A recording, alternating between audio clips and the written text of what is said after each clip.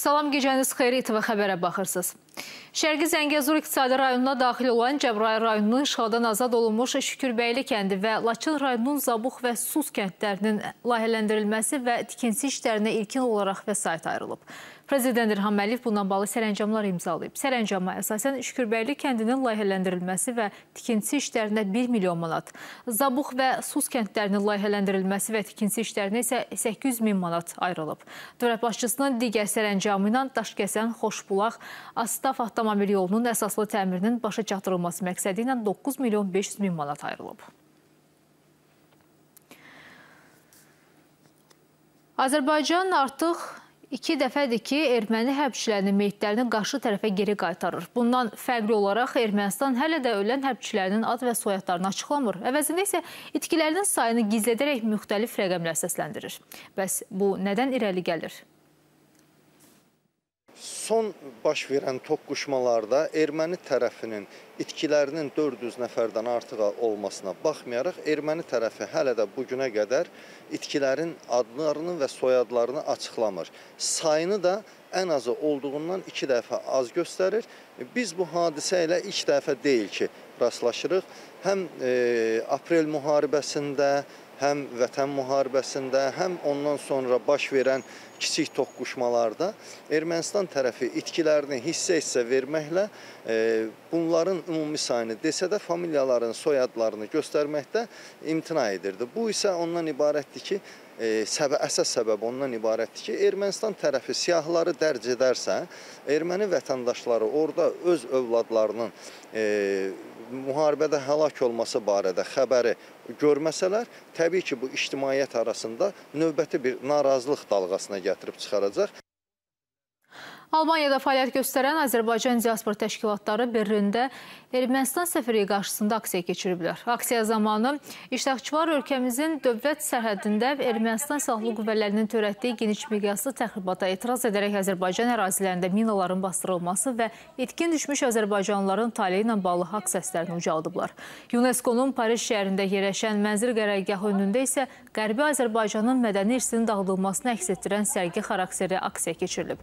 Məqsəd Məqsəd Qərbi Azərbaycanlıların malik olduğu mədəni irsin, həmvətənlərimizin bir vaxtlar İrəvanda sıx yaşadığı məhəllələrin, o cümlədən Təpəbaşı məhəlləsinin ermənilər tərəfindən məqsəd yönlü şəkildə dağıdılmasına Fransa ictimaiyyətinin və beynəlxalq qurumların diqqətini cəlb etmək olub. Birləşmiş Millətlər Təşkilatının Baş Assambleyasının 77-ci sessiyası çərçivəsində New-York şəhərində Türkiyənin Xarici İşlər Naziri Mövlud Çavuşoğlu'nun Birləşmiş Ştatlar Dövlət Katibi Anthony Blinken'dən görüşü baş tutub.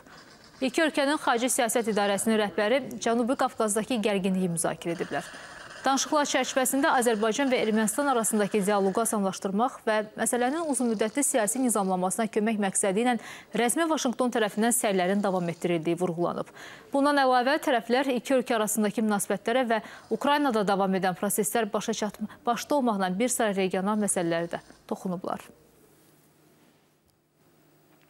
İranda 22 yaşlı qızın əxlaq polisi tərəfindən saxlanıldıqdan sonra ölməsinə etiraz olaraq başladılan aksiyalar davam edir.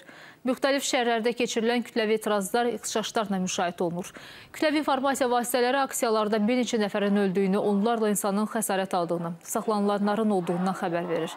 Bundan başqa sosial şəbəkələrdə başlatılan flashmobda isə bir qrup qadın əxlaq polisinin davranışına etiraz olaraq hicablarını yandırıb və saçlarını kəsiblər. Yaradıcı sənaye Azərbaycanın azad edilmiş ərazilərində iqtisadi inkişaf və məşğulluq üçün əsas sahələrdən birinə çevrilə bilər.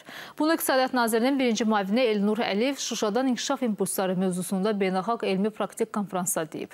O bildirib ki, işğaldan azad edilmiş ərazilərə böyük qayıdışın biznes mühitində də ciddi dəyişikliklərə səbəb olacağı gözlənilir. Azad edilmiş ərazilərə reinteqrasiya iqtisadiyyatda dinamikliyə səbəb olacaq.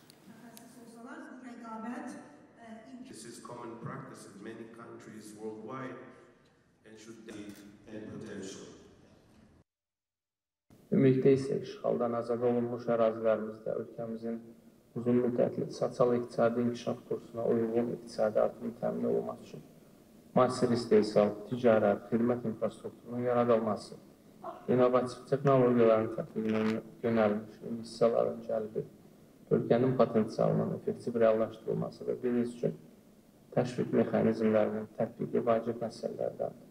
Hesab edirik ki, yaradıcı sənayilər üçün bu ərazilərdə iqtisadi inkişaf və məşğulluq üçün əsas sahələrdən birinə çevrilə bilər. Bunun üçün hökumət çərçivəsində və Ayrılıqlı İqtisadiyyat Nazirliyi olaraq cənab nazirin toxunduğu qanunverici düzəlişlər, müxtəlif güzəşt və dəstək mexanizmlərinin hazırlanması istiqamətində hər cür əməkdaşlığa hazırıq. ETV xəbərdən bu saata çatdırmaq istədiklərimizi bu qədər. Sağ olun, gecəniz xeyrə qalsın.